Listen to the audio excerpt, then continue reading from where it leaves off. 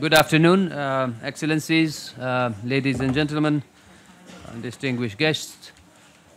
Uh, I'm Jamil Ahmad uh, from the UN Environment uh, New York office, and I have been invited to moderate this very important session this afternoon. So, on behalf of all of us, a very warm welcome to all of you. Um, we have a jam packed room and a very star studded panel um, this afternoon, so um, we will listen to all of them on this very important subject that is now very well known to you, um, to member states. Uh, uh, you are seized with it already in a formal way, but this in this informal uh, um, exchange today, uh, we will hear from you, from all of you, from experts and from member states, uh, of how you look at the um, wider issue of environment in this context. For the panelists, uh, I have a good news and a bad news. Uh, the good news is that all of them will have an opportunity to speak, and the bad news is that they have only three minutes. Um, to begin with, I will request uh, Her Excellency, Madame Brune Poirson, the Minister of State for um, the Ministry of Ecology and Inclusive Transition of France, to say a few words. Madame, you have the floor. Mesdames et messieurs les ministres, monsieur le directeur euh, euh, général, euh, mesdames et messieurs, chers amis, bonjour à toutes et à tous. Au nom de la France, vous dire d'abord à quel point je suis heureuse de vous voir tous réunis aujourd'hui, seulement deux mois après l'adoption de la résolution vers un pacte mondial pour l'environnement.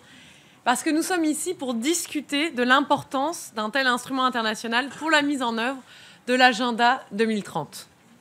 Vous le savez, le monde connaît une crise environnementale majeure, une crise planétaire. Les scientifiques constatent et nous alarment jour après jour sur le fait que nous sommes aussi en train de vivre la sixième extinction massive de la biodiversité, des plantes et des animaux. On mesure chaque jour les effets de cette crise et pour certains, ils sont euh, absolument spectaculaires. Je pense par exemple euh, à nos abeilles qui disparaissent ou encore euh, à nos océans qui sont véritablement, euh, littéralement inondés de plastique. Mais la plupart des conséquences de cet effondrement de la biodiversité, de cette planète qui n'arrête pas de se réchauffer, eh bien, elles sont malheureusement invisibles. Et en novembre dernier, ce sont 15 000 scientifiques de 184 pays qui ont souligné l'état alarmant des indicateurs de l'état de la planète et qui ont appelé à agir concrètement contre, et je les cite là, une souffrance généralisée et une perte catastrophique de biodiversité. Il y a donc euh, urgence. Nous ne pouvons plus euh, attendre et c'est dans ce contexte qu'un projet de pacte mondial pour l'environnement a été proposé par un groupe de 80 juristes renommés issus de 40 pays du Nord comme du Sud et de toutes les traditions juridiques. Leurs travaux ont abouti à un consensus autour de la nécessité de rassembler les principes fondamentaux du droit de l'environnement dans un texte unique, dans un texte court, transversal et de portée générale. C'est une première. Et cette initiative est en fait le prolongement de plus de 30 ans d'efforts de la communauté internationale pour élaborer des réponses multilatérales à la dégradation de notre environnement. La déclaration de Stockholm de 1972, le rapport Brundtland de 1987, puis la déclaration de Rio de 92 ont permis d'ériger les grands principes structurants du droit international de l'environnement, mais tous ces textes n'ont pas conféré à ces principes-là de portée euh, juridique. Et l'agenda 2030 et de nombreuses conventions sectorielles, notamment l'accord de Paris, sont venus encore enrichir ce corpus. Mais malgré ces développements, le constat est simple. Le droit international de l'environnement, il reste fragmenté, il reste éclaté, et je crois que vous en conviendrez tous euh, ici. Et donc, les perspectives de l'environnement mondial nous imposent de franchir une étape supplémentaire. J'ai parlé de l'urgence à laquelle euh, nous devons apporter une réponse concrète et euh, rapide. Et donc c'est pour, pourquoi le président de la République française a décidé de soutenir le projet, projet ambitieux, hein, le projet euh, courageux de développer un pacte mondial pour l'environnement. Il nous apparaît absolument nécessaire de consolider la valeur juridique, de codifier et de mettre à jour les grands principes du droit international de l'environnement au travers d'un grand principe, d'un grand pardon, traité international, un nouveau traité international. Et le pacte tel que nous le voyons n'aura pas pour vocation de se substituer, et ça c'est important, je veux insister sur ce point-là, le but n'est pas qu'il se substitue aux conventions environnementales existantes, mais il vise simplement à les compléter et à faciliter leur mise en œuvre, pour que nous puissions être mieux équipés pour répondre à l'urgence planétaire à laquelle nous devons faire face. La France a ainsi mobilisé la communauté internationale lors du sommet de lancement euh, du pacte en marge de l'Assemblée générale des Nations unies en septembre 2017. On en parlait encore euh, avant d'entrer dans cette pièce. Il y a eu une vraie mobilisation euh, mondiale autour de ce pacte. On a aussi mobilisé la société civile lors de l'Assemblée générale des Nations unies pour l'environnement en décembre dernier. Et le 10 mai 2018, l'Assemblée générale des Nations unies a adopté à une large majorité la résolution vers un pacte mondial pour l'environnement. Cette résolution, elle est le résultat équilibré d'une négociation constructive. Et je tiens donc euh, à remercier très chaleureusement toutes les délégations qui ont pris part à cette résolution. Vraiment, euh, euh, merci parce que cette résolution, eh bien, elle marque une étape absolument déterminante dans la mobilisation de la communauté internationale pour la protection de l'environnement. Elle crée un groupe de travail qui est ouvert, qui est chargé de formuler, dans un temps très court, hein, d'ici juin 2019, des recommandations pour remédier aux lacunes éventuelles du droit international de l'environnement. Et si le consensus est réuni, une deuxième résolution sera ensuite adoptée pour lancer les négociations sur un texte mondial pour l'environnement. Cette négociation, elle va se poursuivre et nous souhaitons que la première phase euh, s'ouvre et, se poursuive jusqu'en juin 2019. On veut que cette négociation soit la plus ouverte et la plus inclusive possible. Je suis convaincue que c'est aussi la volonté des co-facilitateurs du processus qui ont été nommés par le président de l'Assemblée générale euh, des Nations unies, les représentants permanents du Liban et du Portugal, que je viens à nouveau euh, à remercier. C'est dans cet esprit que nous avons souhaité organiser cet événement aujourd'hui. Il y a encore beaucoup de pistes qui peuvent être confirmées, des idées nouvelles qui peuvent être intégrées. Je remercie d'avance les intervenants et le public de contribuer à faire progresser notre réflexion collective. C'est un euh, work in progress, si vous m'autorisez à utiliser euh, un anglicisme euh, dans cette enceinte, mais en tout cas, c'est une réflexion collective sur les synergies à mettre en place avec la mise en œuvre de, ensemble hein, de l'agenda 2030. Les ODD, qui sont euh, revus cette année au Forum politique de haut niveau, ils ont certes une coloration qui est très environnementale, mais ils sont surtout à mettre en relation avec les autres euh, ODD. Et ces interrelations sont au cœur de l'agenda 2030 et elles vont être dûment prises en compte par le projet de pacte mondial pour l'environnement. Tout ça, ça s'inscrit dans une même dynamique et euh, c'est une, une, dynamique partenariale et collaborative que nous voulons continuer à impulser les principes du droit de l'environnement ne peuvent pas être isolés et leur portée euh, confinée au seul domaine environnemental, loin de là. Et c'est pour ça d'ailleurs, et c'est pas pour rien si on a voulu aujourd'hui organiser un événement euh, sur le pacte mondial euh, pour l'environnement. Aujourd'hui, à l'occasion de ce forum politique de haut niveau pour les EDD. Un développement durable pour les générations futures, eh bien, il se prépare avant tout ici. Et donc, je tiens à nouveau à remercier vivement, par avance, les intervenants de ce panel. Euh, je tiens à les remercier pour leur participation. Je vous remercie à tous aussi. Euh, et ça euh, nous fait chaud au cœur, à nous tous, de vous voir aussi nombreux parce que c'est ensemble qu'on doit construire la deuxième génération de droit de l'environnement international. Et je sais, la France sait, et nous savons tous que nous pouvons compter sur vous. Et donc, un très grand merci encore.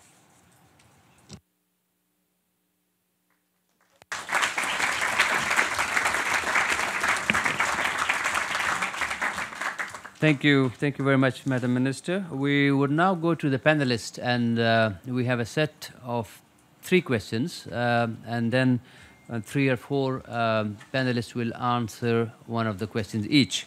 So the first question um, to um, the three panelists, and the three panelists are Dr. Victor Tafur from the International Council of Environmental Law, um, His Excellency Mr. Siim Valmar Kiisler, who is the Minister of Environment for Estonia, and our Executive Director, Mr. Erik Solheim, uh, who is also on the panel here. And the question for them is, to what extent uh, could the current fragmented nature of international environmental law hinder the implementation of the 2030 agenda. Uh, you are next, Excellency, in the next question uh, panel. So uh, I would invite uh, Mr.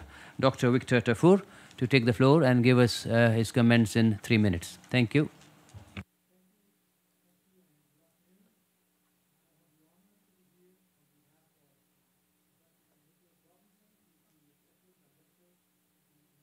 Council on Environmental Law, um, uh, which is uh, accredited with ECOSOC. It was founded in 1969, close to 50 years now, and, is a group of experts that has helped to advance the knowledge uh, about how laws can help use uh, rational, further the use of rational um, natural resources and conservation of nature which are the laws really that provide the foundation for sustainable development. Our group is composed from experts from all the UN regions and all legal tra- traditions civil law, common law, socialist law, Islamic law, and customary law. And many of the experts participated in the draft uh, Global Pact. We will continue working and providing some input both in New York and in Nairobi, where we have another representative. To, to address your question,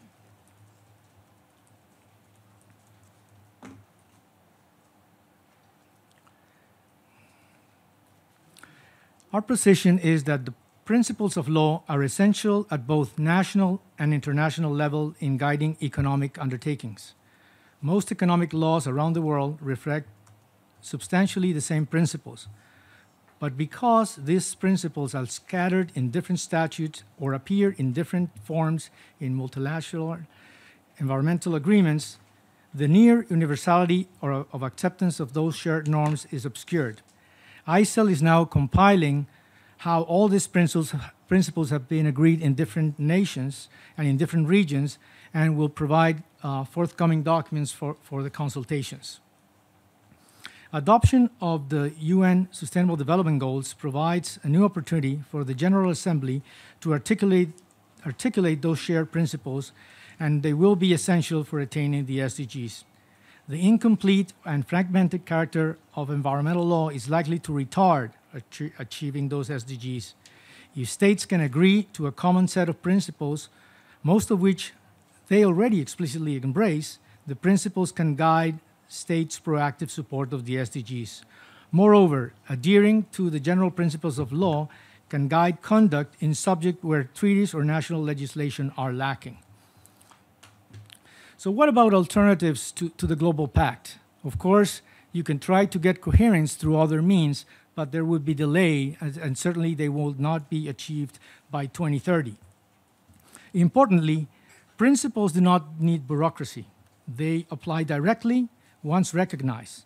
Some urge for a no action alternative to let the, exist, the existing system continue as is, but this is inconsistent with the General Assembly Resolution 70/1, which adopted UN Sustainable Goals. No action undermines the Sustainable Development Goals. Endorsing a global pact has the benefit of providing an agreed and binding framework around the world relatively quickly.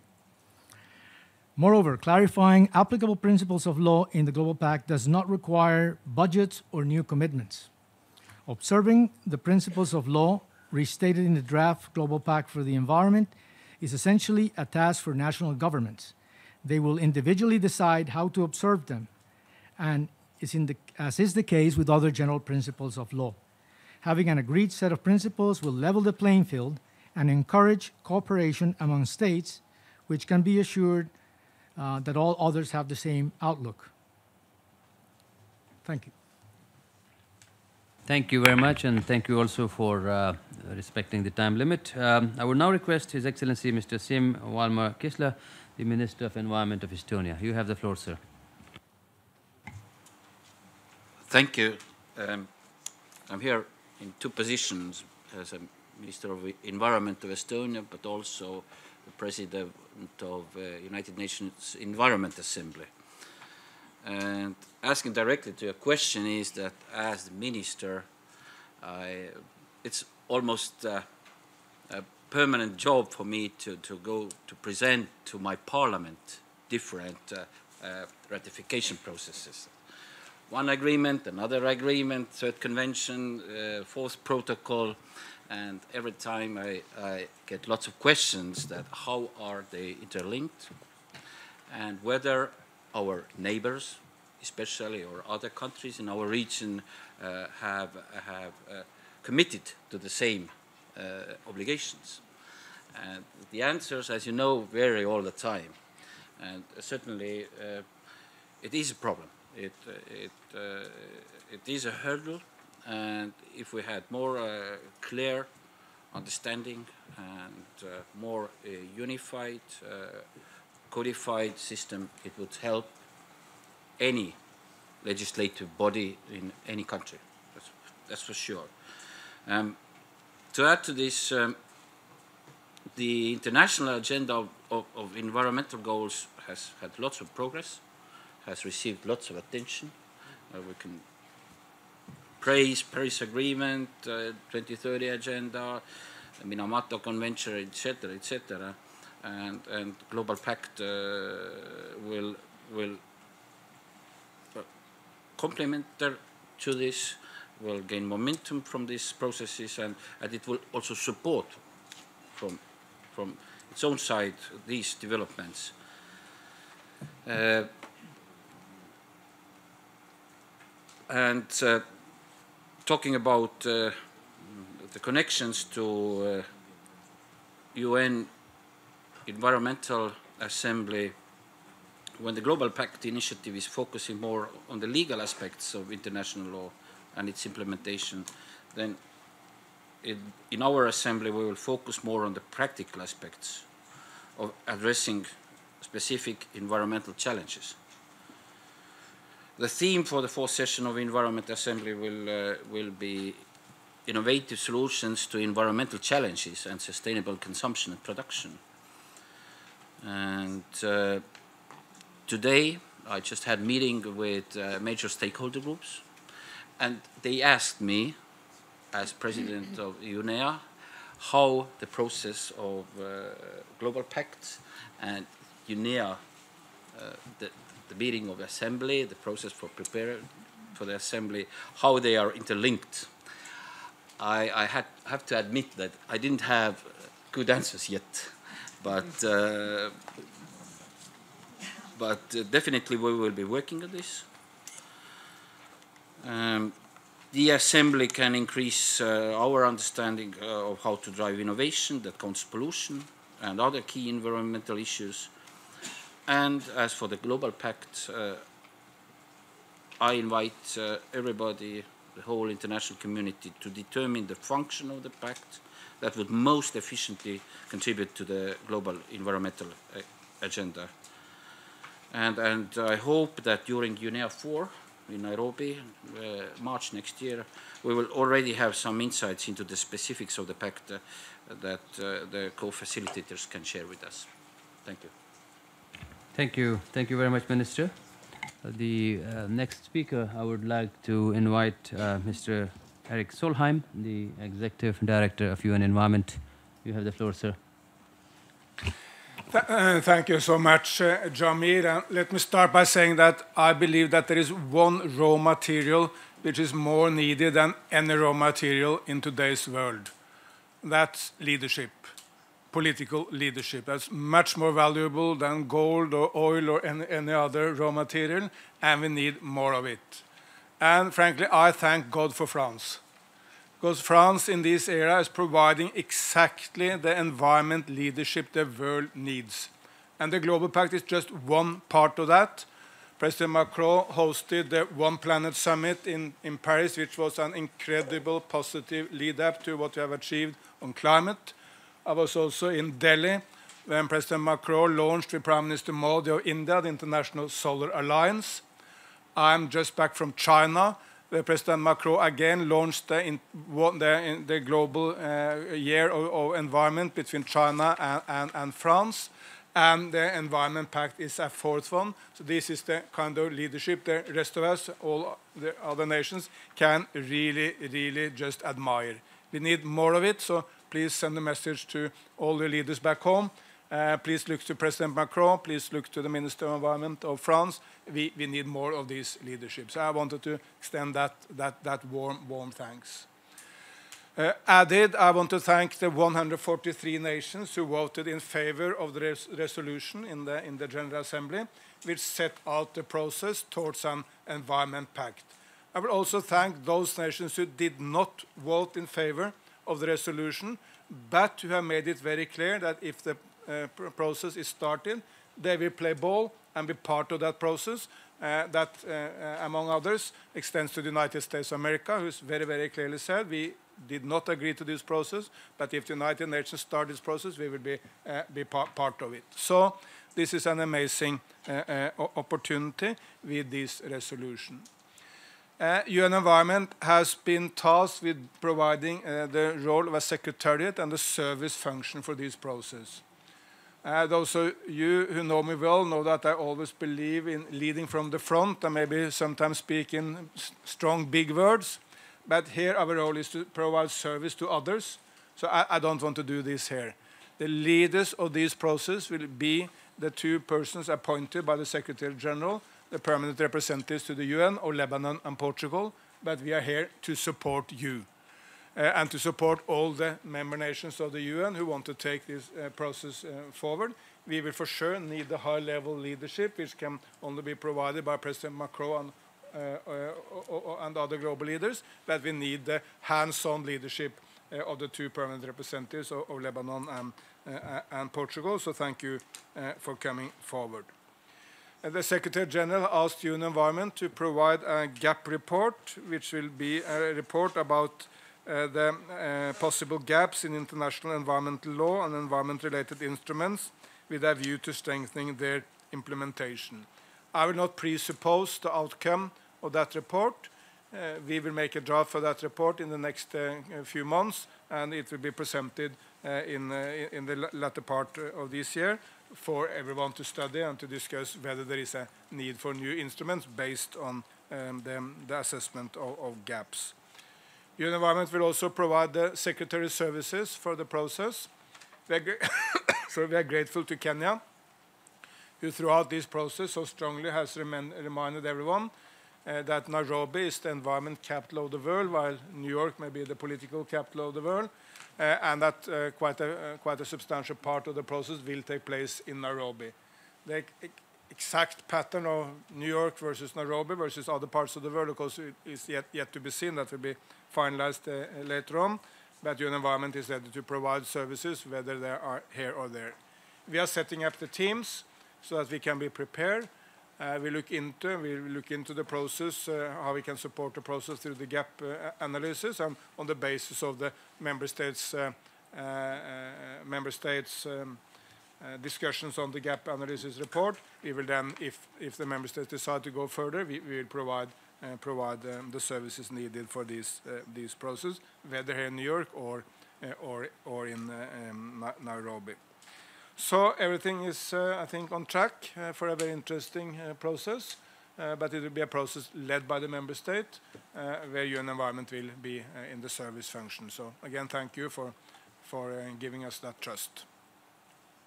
Thank you.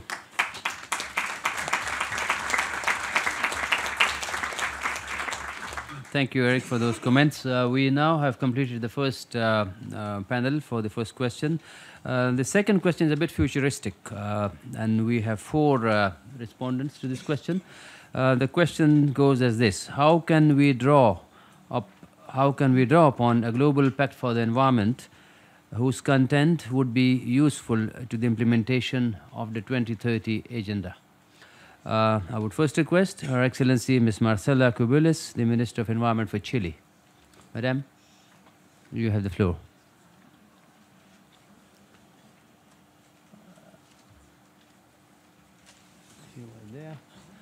In that case, uh, I would turn to His Excellency Mr. Mame Thierno Dieng, the Minister of Environment of Senegal. Excellency. Merci beaucoup. Je pense que si j'ai l'honneur et le privilège de prendre la parole devant cette auguste assemblée, c'est principalement dû au rôle très important qu'a joué son Excellence le Président Macky Sall dans la genèse de ce pacte. Et je disais à mon homologue français que notre bébé, parce qu'il a été conçu, il a bien grandi. Et nous sommes dans une assemblée franco-française. Donc je vais emprunter mes mots de préambule à Voltaire. Oui.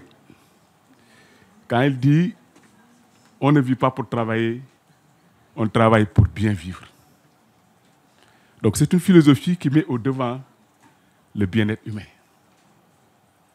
Et aujourd'hui, le facteur majeur de compromission du bien-être humain, c'est bien sûr les agressions anthropiques que les hommes exercent sur l'environnement.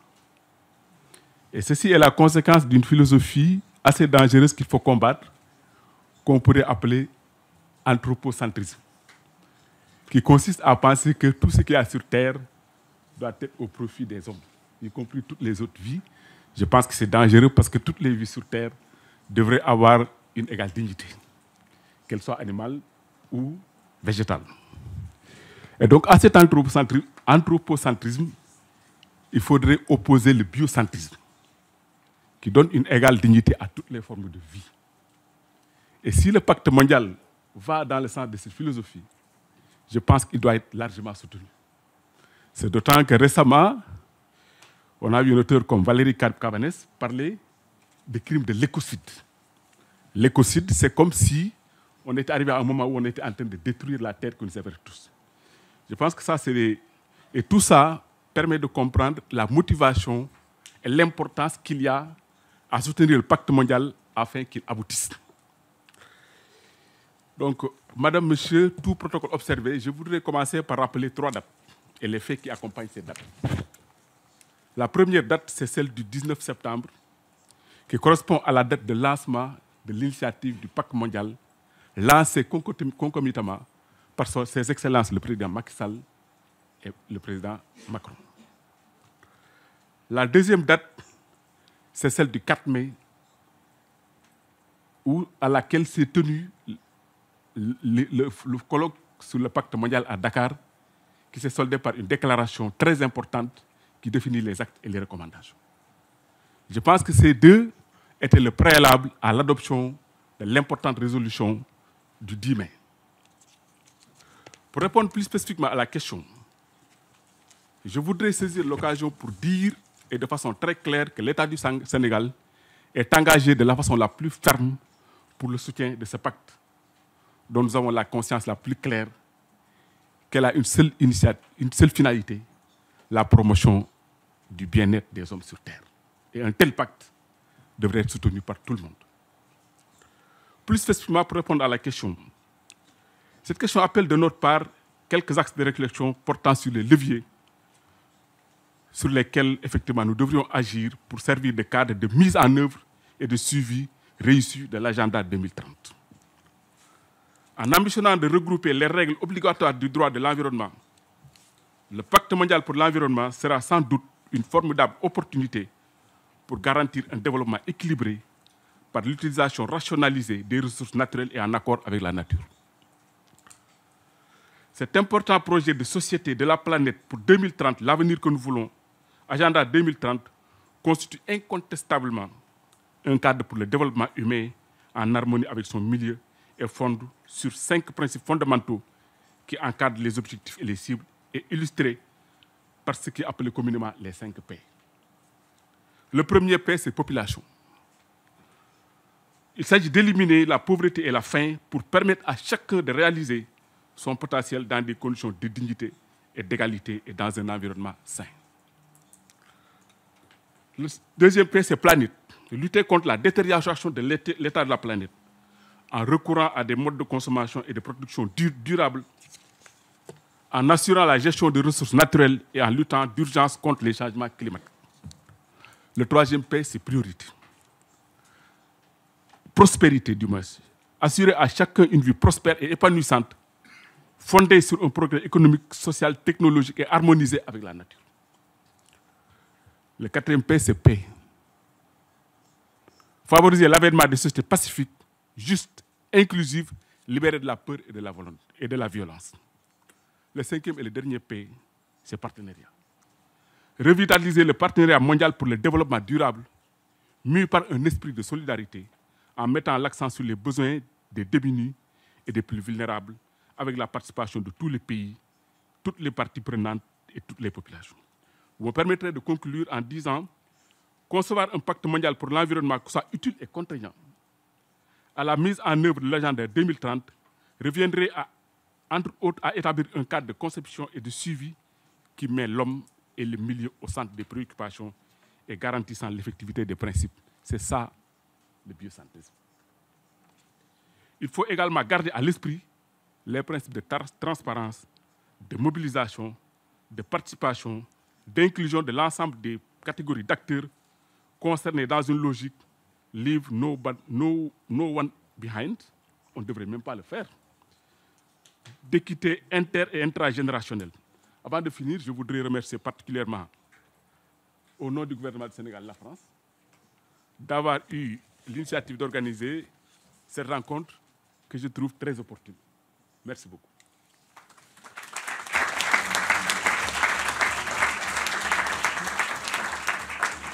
Thank you very much, uh, Minister. Um, next uh, uh, respondent will be Madame Bourg Poisson, the Minister of State for uh, Ecological and Inclusive Transition from France. Madame, you have the floor. Euh, merci. Merci. À, cette question que vous venez de nous poser, euh, je répondrai que le droit de l'environnement renferme, et, on en a parlé, hein, plusieurs grands principes euh, qui contribuent directement à la préservation euh, de l'environnement. Et l'un des trois piliers, d'ailleurs, c'est la protection de l'environnement, c'est l'un des trois piliers de l'agenda 2030. Ces principes, ils sont déjà agréés, mais ils sont éparpillés dans beaucoup de conventions internationales. Et par exemple, quand on regarde euh, et quand on se penche sur la déclaration de Rio de 92, elle rassemble la plupart de ces principes, mais elle a une, une force qui est surtout symbolique et déclaratoire.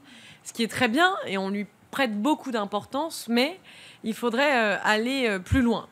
Et donc ces grands principes, ils contribuent aussi moins directement à un mode de développement plus durable pour les générations actuelles et futures dans sa dimension environnementale, mais aussi dans sa dimension économique et sociale. Parce que ce sont souvent les populations les plus vulnérables.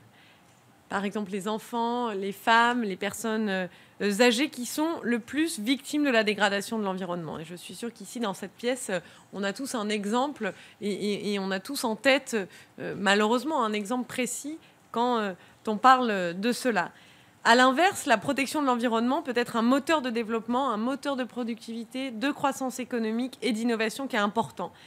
Mais pour que le développement y s'inscrive dans la durée, eh bien, euh, il n'y a pas d'autre option possible que de l'appuyer sur une utilisation qui soit raisonnée des ressources naturelles pour pas dépouiller les générations actuelles et futures. Et donc, protéger l'environnement, c'est travailler et lutter, euh, travailler à lutter contre la pauvreté et les inégalités en donnant les outils pour se défendre. Et je vous fais cette démonstration-là qui est euh, un peu une évidence, mais pour souligner à quel point le pacte mondial pour l'environnement pourra être un outil très concret pour venir accompagner les pays en développement, leur population, dans une transition qui soit écologique, mais qui soit aussi euh, fondamentalement solidaire. Et c'est tout l'objet euh, euh, de ce pacte mondial pour l'environnement. Tous ces grands principes-là, ils existent déjà dans leur grande majorité. Mais maintenant, ce qu'il faut, c'est les rassembler en un texte uni- unique qui ait une valeur de traité international et qui puisse comporter les principes réc- récents à la hauteur des enjeux actuels et futurs de la protection de l'environnement aux fins de développement durable. C'est ça, euh, c'est l'esprit qu'il y a derrière, et ça, on ne peut parvenir à l'atteindre que grâce et par le biais d'un traité international. Merci. Thank you, thank you, ma'am. Um, the final speaker on this uh, question is Mr. Daniel uh, Calija Crespo, Director General of Environment for the European Commission. Thank you very much. Good afternoon. It is a pleasure to be with you here today. And I would like to say from the outset that the European Commission strongly supports this Global Pact for the Environment. We welcomed it. We co-sponsored the resolution. And we also want to pay tribute to the leadership of France in coming with this initiative. In fact, when President Macron presented it in the Commission, we thought this is such a good idea, it should have come from the Commission. but nevertheless, I have to say, all the 28 EU member states believe that this is a very, very important and really a groundbreaking initiative which will greatly facilitate the implementation of the Sustainable Development Goals and of the environmental legislation. And I would like to say why with five concrete arguments. First of all, it has been said this is about increasing the coherence of environmental protection. We know how dispersed, how fragmented environmental legislation is. This pact offers the guarantee to have a coherent framework, and this is already very valuable. Second, it would also be a cornerstone for environmental protection, because on the basis of these principles, we could also develop more far-reaching sectorial norms. And I think this is a second very important element.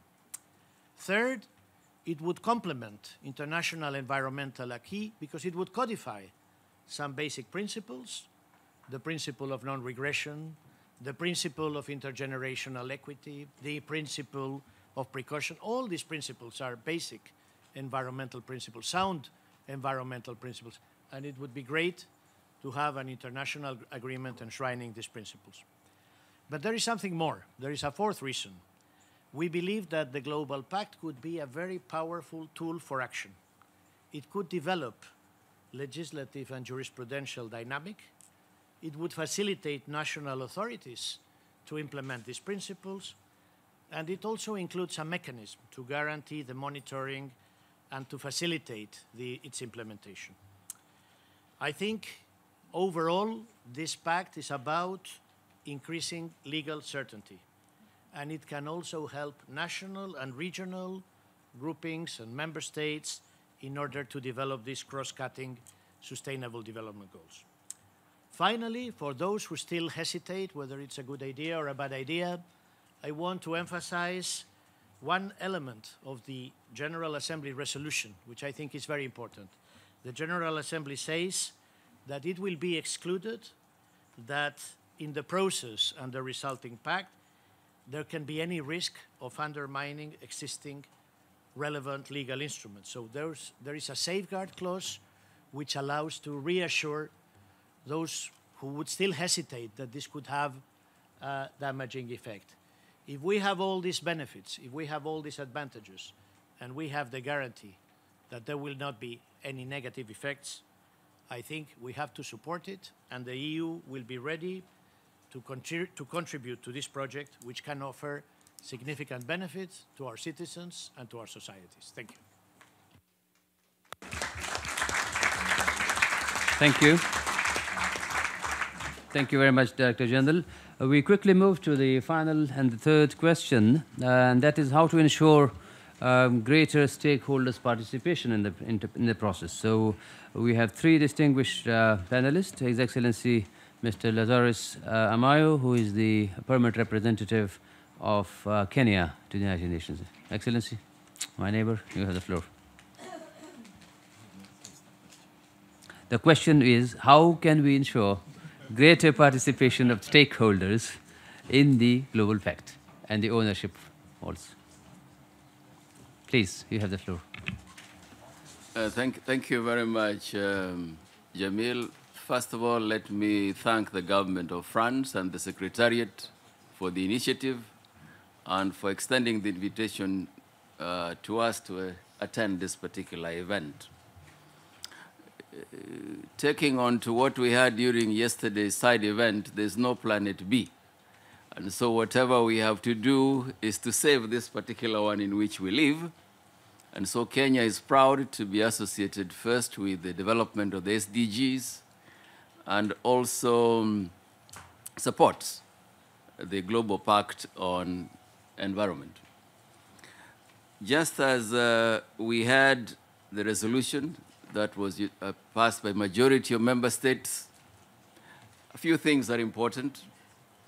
One I would say is this need for strong political leadership and commitment at the highest level of government on matters environment just like you've seen with the government of France, the EU, and other members. equally important is um, involvement of even countries that might have not voted for the resolution. Their inputs are important. It's in, important to involve them and get their support so that we all move forward together. The other aspect is that although the process has been member states driven, and member states will remain the main stakeholders, we must bear in mind that um, there are other stakeholders we cannot ignore because of their input and for the success of the process itself. And so, to strengthen the efficacy of the pact, we should, as much as possible, engage with the non-governmental organizations, the private sector, the academia, and the youth should be able to attend and participate in our meetings. And through doing that, we believe that the Global Pact will enjoy wider, wider stakeholder participation and ownership, which I believe should be able to work towards its success. And so, in brief, let me say that Kenya, as a host country to the UNEP, which is the uh, environmental headquarters of the world, will facilitate whatever is necessary, even for the co-facilitators, as they engage in substantive discussions in Nairobi and consultations elsewhere. We stand together with them and will support the process. We must succeed, and we succeed when we involve all, and that is when we'll be able to say we are leaving nobody behind, even on this matter on Global Pact on Environment. I thank you.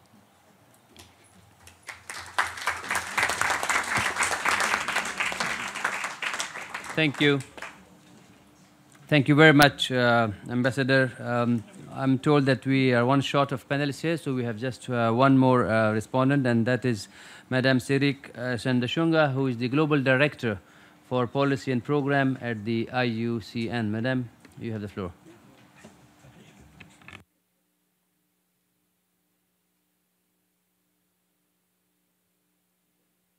Merci, Monsieur le modérateur, Madame la Ministre, euh, distingués participants.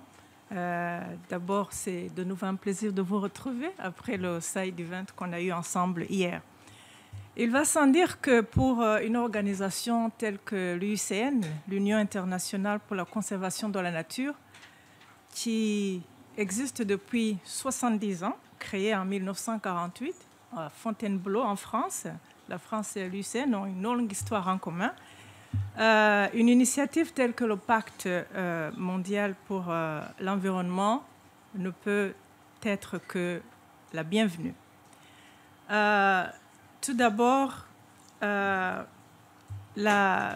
projet, donc je souligne que, comme l'a dit Madame la ministre, beaucoup, beaucoup d'experts ont participé à la rédaction du projet, y compris des experts qui appartiennent à la Commission pour le droit de l'environnement de l'UCN. Donc, ça veut dire que euh, nous, étions partie prenante dans ce processus. Alors, euh, au mois de novembre 2017, le Conseil de l'UCN a pris acte donc, de l'initiative du président Macron de proposer euh, ce projet à l'Assemblée générale des Nations unies. Et notre Conseil a souligné trois choses. D'abord, saluer cette initiative, comme j'ai dit, et puis euh, demander à nos experts donc, de la Commission de l'UCN pour le droit de l'environnement de continuer à accompagner le développement du pacte. Et ensuite, euh, demander à notre directrice générale de mettre à la disposition euh, de la communauté internationale la plateforme de l'UCN, qui, comme vous le savez, c'est une union de membres étatiques, agences gouvernementales, organisations de la société civile, ainsi que les organisations des peuples autochtones. Donc, de disponibiliser cette plateforme pour échanger, pour débattre, pour discuter euh, des questions euh, euh, pertinentes à ce pacte. Donc, pour nous, l'aboutissement de cette initiative, en quelque sorte, représenterait la concrétisation d'une longue tradition de l'UCN euh, de promouvoir, d'être le champion de la cause de la nature. Entre autres, certains d'entre vous êtes sans doute au courant de la Charte mondiale pour la nature qui, était proposée par l'UCN dans les années 2000 et qui était en fait aussi une ébauche de cette euh, tentative de regrouper euh, des principes fragmentés entre plusieurs traités internationaux. Donc, euh, nous, con- nous considérons que cette initiative, euh, elle est la bienvenue. Mais comme l'ont souligné d'autres panélistes avant moi, il est important que la société civile, que les, organisations de jeunesse, que les organisations des peuples autochtones soient impliquées, soient euh, inclus et euh, font des inputs dans ce processus parce qu'il est important que tout le monde se sente impliqué. Et donc, euh, nous, euh, nous sommes en attente de, ce que va donner le processus qui est maintenant euh, sous les auspices des Nations Unies, mais nous restons à la disposition des États membres, dont certains sont aussi des membres de l'UCN, comme j'ai dit, pour faire notre contribution pour faire aboutir ce projet. Je vous remercie.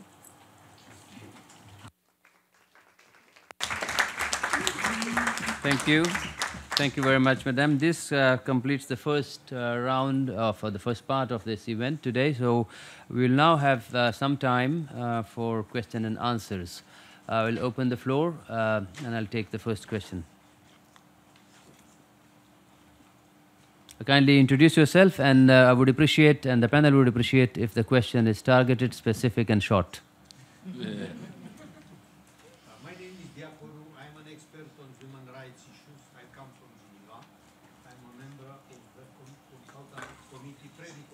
Micro- microphone, please. Uh, when it turns red, that means it's green.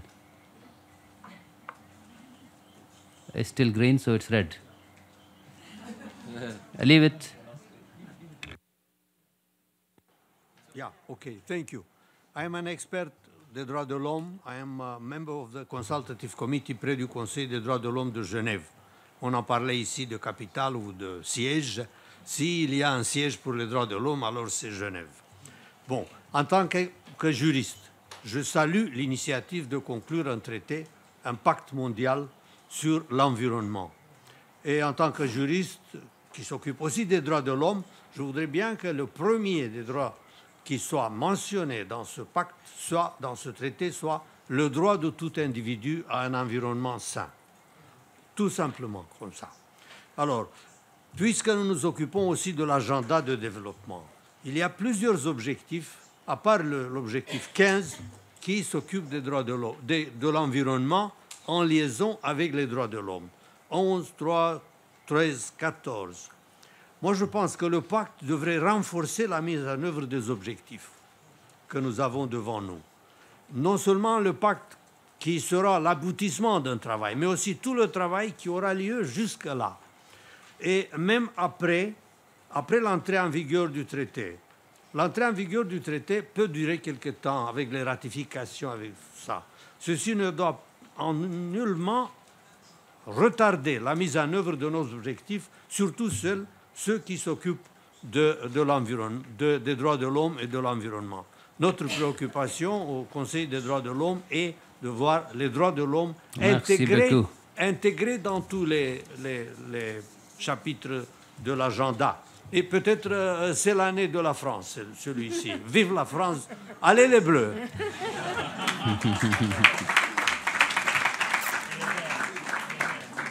You have the floor, sir, at the back, please.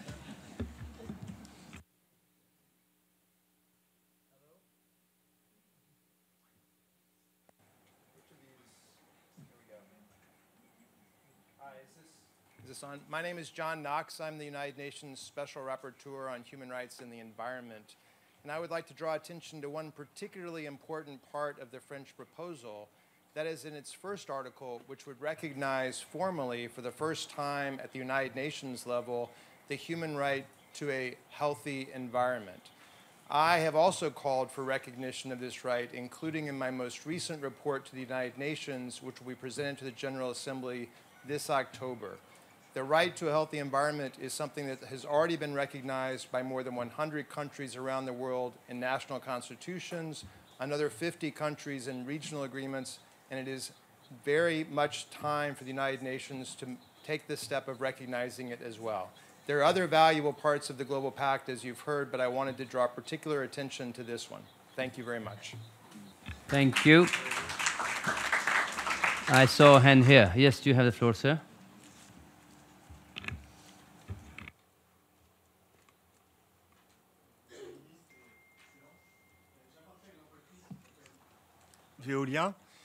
Qui travaille dans les services à l'environnement et qui soutient depuis le départ le pacte mondial pour l'environnement. Alors on peut se demander pourquoi une entreprise soutient une telle initiative. D'ailleurs, nous avions lors du Forum mondial de l'eau organisé un gros événement avec nos collègues brésiliens sur la promotion du pacte mondial de l'environnement. C'était avant le mois de mai, puisque c'était en mars dernier. Tout simplement parce que nous voyons bien que pour déployer les solutions environnementales, il faut qu'il y ait une certaine stabilité environnementale dans l'ensemble des pays. Je voudrais vraiment insister sur ce point. Je vais vous donner juste un exemple. Nous travaillons beaucoup sur les questions du méthane issu des décharges, qui, vous savez, a un pouvoir de réchauffement global de plus en plus important selon le GIEC. Aujourd'hui, le fait qu'il n'y ait pas d'uniformisation de la réglementation fait que les objectifs que nous donnons en matière de captage et de valorisation des déchets a du mal à se mettre en œuvre partout dans les pays. Donc c'est besoin de stabilité environnementale est vraiment une condition du déploiement et aussi une façon pour nous de lutter contre le low cost en matière environnementale, mais de pouvoir vraiment une vision environnementale qui correspond à la relation nouvelle, me semble-t-il, entre l'entreprise et les biens communs qu'il y a derrière les objectifs du millénaire pour le développement. Donc c'était cela euh, que les objectifs du développement durable. Voilà, c'est ce dont je voudrais témoigner, c'est notre soutien total à cette initiative. Thank you. The floor is uh, still open for a few more minutes, so uh, yes, madam, at the back.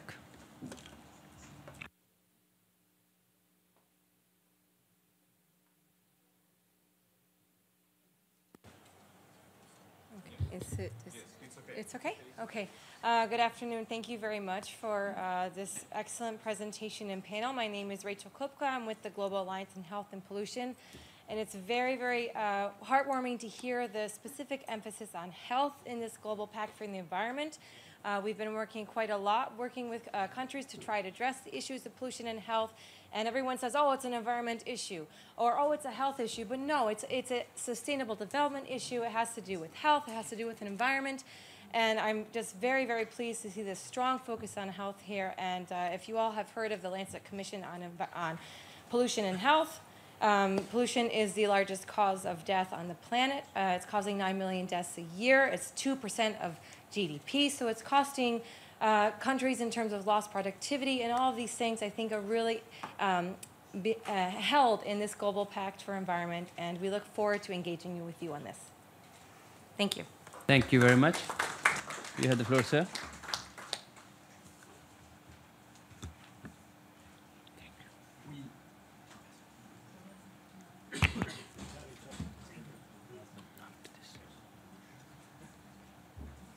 Ça va se mettre au rouge. Merci. Euh, André Viola, euh, président du département de, de l'Aude en France, donc euh, au nom des collectivités territoriales, dire, euh, j'écoutais tout à l'heure, j'ai entendu les organisations de la société civile, les, les entreprises, que les collectivités territoriales, bien évidemment, euh, soutiennent cette euh, démarche du partenariat mondial sur euh, l'environnement. Et tout hier, nous avons eu euh, une, une rencontre euh, à CGLU et euh, nous avons dit bien évidemment que sur toutes ces questions des ODD, mais plus particulièrement sur les questions environnementales, les collectivités euh, territoriales étaient intéressées au premier chef et qu'elles seraient là pour permettre la localisation de ces, euh, de ces objectifs. Et pour prendre l'exemple français sur les questions de, de biodiversité, de transport, de déchets, sur tous ces sujets-là, les collectivités, que ce soit au plan régional ou très local, communal, euh, sont investies, impliquées, mettront tout en œuvre pour la réussite de ce partenariat.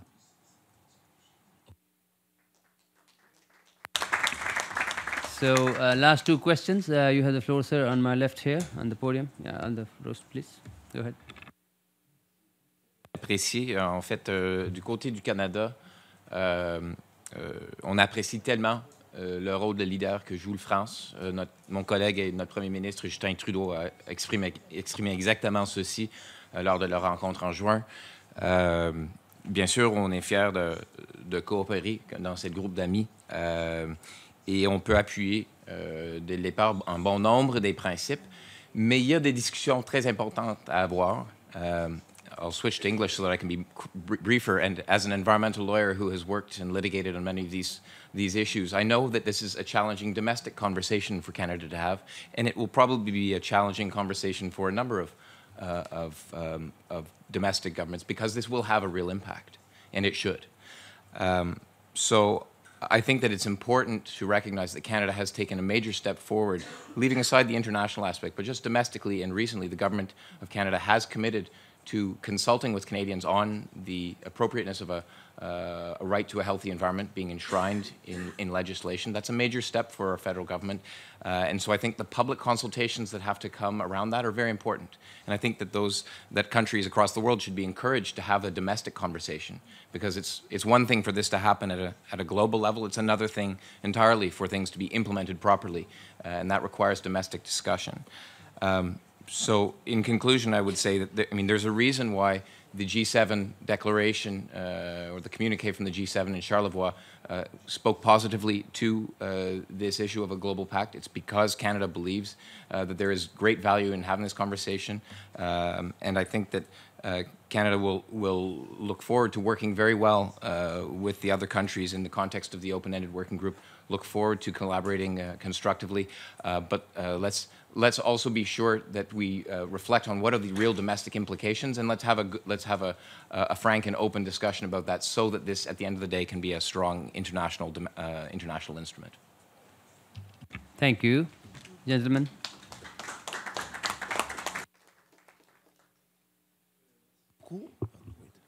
Merci beaucoup. Je suis euh, Sena Alouka, je viens du Togo. Je viens du Togo, euh, je m'appelle Sena Alouka, je travaille pour euh, une ONG euh, qui s'appelle Jeunes Volontaires pour l'Environnement, la plus grande organisation de jeunesse euh, en Afrique, euh, dans 28 pays.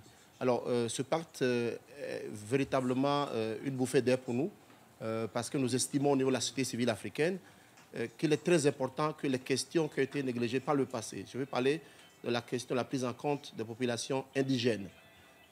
ces questions du pacte se reflètent dans les pratiques, les coutumes, les valeurs africaines. Et c'est très important que ces connaissances écologiques traditionnelles soit reprise dans ce pacte. Et nous aimerions également que la question, les questions qui touchent essentiellement les droits des femmes, surtout le cas de la cuisine, la cuisine cuisinée tue euh, environ 8000 personnes chaque année au Togo, beaucoup plus que le palu et le sida réunis. Donc c'est important que ces questions qui sont considérées questions peut-être secondaires soient abordées et que le droit à l'énergie, le droit des femmes à bien vivre, eh bien, soit euh, mentionné. Je vous remercie, monsieur. Thank you very much. Uh, Madame, you are the last uh, person to take the floor, please. President of NGO Sustainability. Uh, je voudrais dire quelque chose euh, très important dans mes expériences. Si on ne travaille pas dans le niveau le plus euh, local, ça ne vaut pas la peine. Parce que les gouvernements font des décisions, des pactes, des euh, résolutions, mais quand on veut travailler dans ce domaine, dans votre quartier, euh, ville, etc., ça ne marche pas. Les gens ne sont pas du tout au courant de ce que nous faisons. C'est tout ce que je voudrais dire. Merci infiniment. Thank you. Uh, excellencies, uh, distinguished ladies and gentlemen, that uh, concludes the presentations part. And most of the questions, as we have heard, were more in the nature of information, observations, and comments. So um, we now have a very distinguished uh, speaker at the end who will uh, give us his views, uh, Professor Jeffrey Sachs, who hardly uh, needs an introduction, but he is the Director of Sustainable Development Solution Network, a professor at Columbia University, and also an advisor to the Secretary General. So, professor, you have the floor. Thank you very much. I could not be more delighted to be here and again to see France's leadership on the environment, which is extraordinary. Of course, France has dual leadership uh, in being uh, the country that brought us the Paris Climate Agreement and I would say does most in the world to defend the Paris Climate Agreement and also the Global Pact for the Environment, and these go hand in hand. And it's absolutely wonderful leadership and extremely important in our very confused world.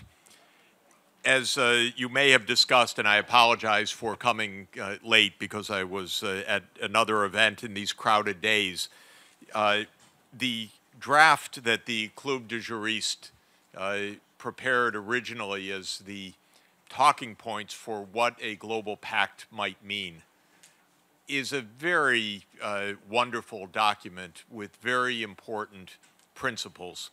And I don't know whether those were uh, elaborated uh, previously, but uh, we heard the strong statements of support for the first clause, which is the right to a healthy environment. And I would say that uh, all of that original draft, which was put forward by legal scholars to give uh, the impulse for this process, is very impressive. And it includes principles such as the duty to care about the environment, integral and sustainable development as being central, intergenerational equity, uh, the precautionary principle, the right to remediation for environmental damages, extremely important, the polluter pays principle, the right of access to information, the right of public, the public to participate, the access to environmental justice, and others. We have a lot to uh, finalize in deliberations, but these are very, very important principles that are part of our norms, perhaps, but not part of our clear international law as the Global Pact for the Environment will make possible. I would like to emphasize two uh, critical challenges in responsibility in our system right now that I believe the Global Pact will help uh, to advance. Right now, we have countries all over the world suffering from climate change that is underway. It's, of course, uh, I think, commonplace now to note climate change is not a risk of the future, it is our clear and present danger. We're in the midst of it. We have already left the Holocene climate. We're already outside of the entire range of civilization of the last 10,000 years. We're in uncharted waters already, and places all over the world are being hammered by this, and much more is to come, no matter what we do, because we have built in a lot of inertia of further warming and further perturbation to the system. Last year, the United States uh, experienced uh, $306 billion of losses from three hurricanes and massive uh, forest fires uh, as the main cause. But other parts of the world are being hit similarly, and they don't have the reserves financially of the United States. And while the United States is the number one country historically responsible for greenhouse emissions, other countries that are being hit had almost no role whatsoever in any of the changes that are underway. We do not have a system of remediation. We have no system of compensation. Our system of so-called emergency response is what it says. It's, it's a response in an emergency. It's not a system.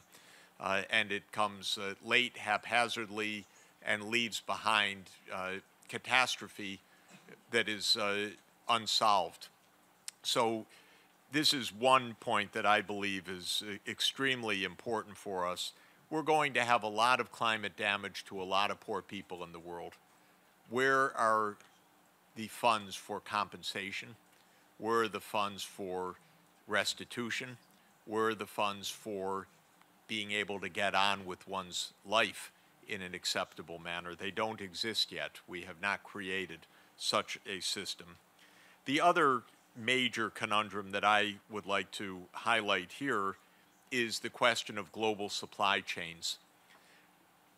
Almost everything that we do day in, day out involves global supply chains. The cup of coffee uh, in uh, the cup here, uh, the wonderful Lavazza coffee, uh, comes from perhaps 25 countries around the world in tropical environments under tremendous stress the palm oil that we use in our conditioners and our shampoos and our soaps uh, finds its uh, source in the deforestation of the Indonesian archipelago and the near extinction of the orangutan.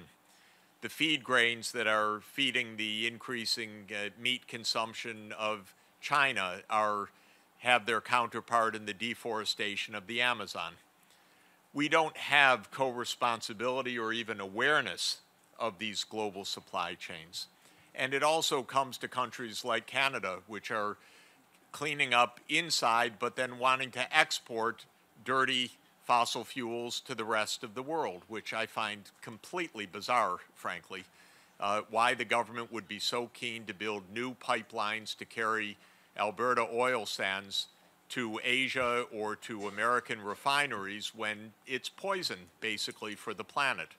And Australia the same way, which is cleaning up internally and exporting coal externally, because we don't have co-responsibility in supply chains. And so I think that this raises an issue for the Global Pact uh, that I hope in the negotiations we can amplify, and that is a shared global responsible system that identifies that you're not allowed to be at one end or another of a dirty, polluting supply chain without a measure of responsibility, whether you're upstream or downstream. Uh, if we're downstream consumers, we should have the assurance and, if necessary, pay the extra price that that supply chain is not ripping up the land, the ecosystems, or engaging in child labor or slave labor halfway around the world. And similarly, if we're upstream, we should not be able to say, we're not the ones burning coal, we're only the ones shipping it. That also doesn't work. And so it seems to me that in a globalized economy, globalized co-responsibility is extremely important. Well, I think uh, what uh, France has given us and the dozens of co-sponsors that make possible is a great uh, advance in international law and in international responsibility. Heaven knows we need it right now. Uh, our world system is really uh, at a crossroads. We feel it every day. Uh, those of us who are fighting for multilateralism better redouble and then redouble and then redouble again our efforts because we're under assault uh, by my government and by others. Uh, and uh, we need to uh, fight back to say that the only civilized way to live on this planet is as a planetary civilization that obeys uh, proper norms and proper standards of human rights and environmental rights. Thank you very much.